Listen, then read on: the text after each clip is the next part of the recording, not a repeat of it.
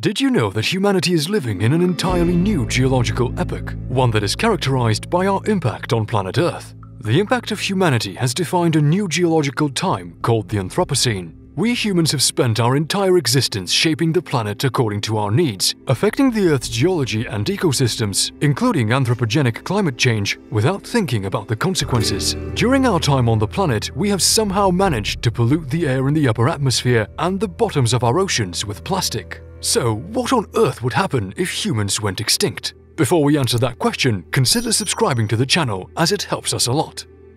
Human extinction is inevitable. Many scientists have agreed that human extinction is more of a when instead of an if. It is bound to happen. One of the more prominent theories of human extinction is represented by Australian virologist Frank Fenner. In 2010, he said that humanity will go extinct sometime in the next century, and it will happen because of climate change, environmental destruction, and overpopulation. In this scenario, the Earth will prevail it's more than capable of surviving without us, and the lack of humanity's impact will help our planet heal faster. The cities will crumble, bridges will fall, and almost all notable landmarks humanity created will fade away. Alan Weisman, the author of the 2007 book The World Without Us, did a pretty good job of summarizing what would happen if humans went extinct. He said, Nature will break down everything eventually, and if it can't break stuff down, it eventually buries it.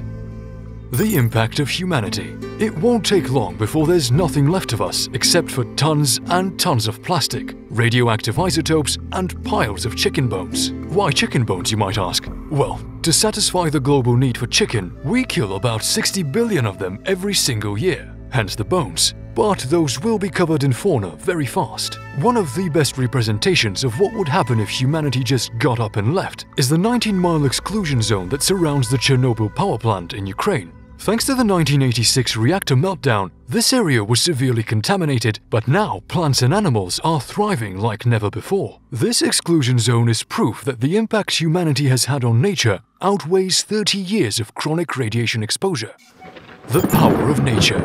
Nature is more than capable of reclaiming what it once lost, but the climate has a huge role in this as well. For example, the Middle Eastern deserts are home to ruins that have been there for thousands of years. The ruins are still visible due to harsh climate and unfavorable conditions for flora. However, tropical forests are an entirely different story. The Europeans who discovered the Brazilian rainforests in 1542 reported seeing cities, roads, and fields. Unfortunately, they also brought diseases that decimated the indigenous population, leaving the cities empty. In just a few hundred years, those cities are now unrecognizable because they flourished with flora and fauna.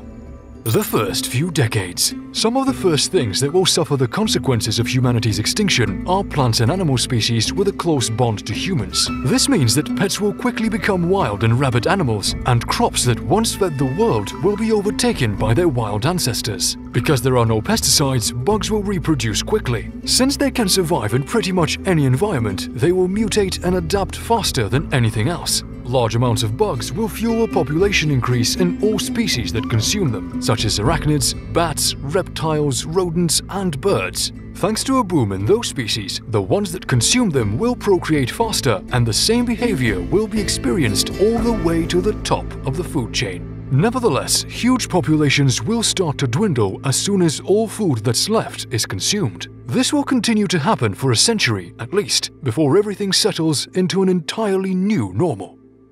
The survivors. Some of the wilder breeds of animals stand a chance of survival, but the more docile ones, such as cows and sheep, will probably die off in enormous numbers. They will become quick pickings for proliferating carnivores, some of which will include our pets, more likely cats because they thrive no matter where they are. Dogs will probably survive in smaller numbers because wolves are going to outcompete them by a significant margin. Now that our planet is full of wild animals, we are left with the question of evolution and whether a more intelligent species will rise to the top again. The most likely candidate for that is the baboon, as it has the second largest brain of all the primates, at least per body weight. They can easily do what humans once did, as they live on forest edges, they can gather food in the savannas, and have the ability and knowledge to stick together against any predators. However, baboons are doing just fine as they are right now, so there is no external motivation that would push them towards evolution. The aftermath Humanity has polluted Earth so much that it will take tens of thousands of years to heal all the greenhouse gases that we pumped into the atmosphere. Not only that, but many scientists believe that we've passed the tipping point and that it's all downhill from here. Nuclear plants are an issue of their own, as there are about 450 nuclear reactors across the planet that will start to melt the moment emergency generators stop supplying them with coolant. And there is no way of knowing how this might affect the Earth's atmosphere and ecosystems. Some of the other sources of pollution include chemical leaks, oil spills, and explosions that would cause fires to burn for decades all over the planet. The last traces of humanity.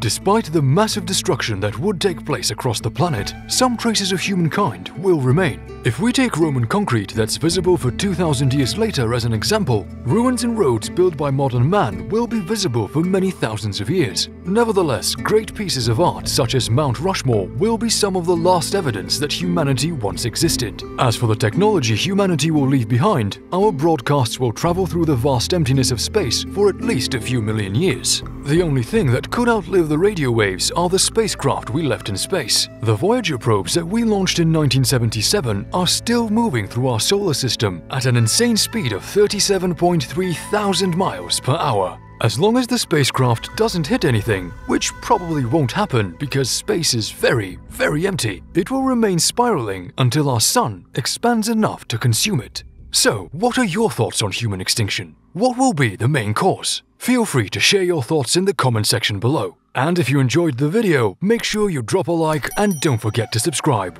It would be greatly appreciated. We'll show you everything worth knowing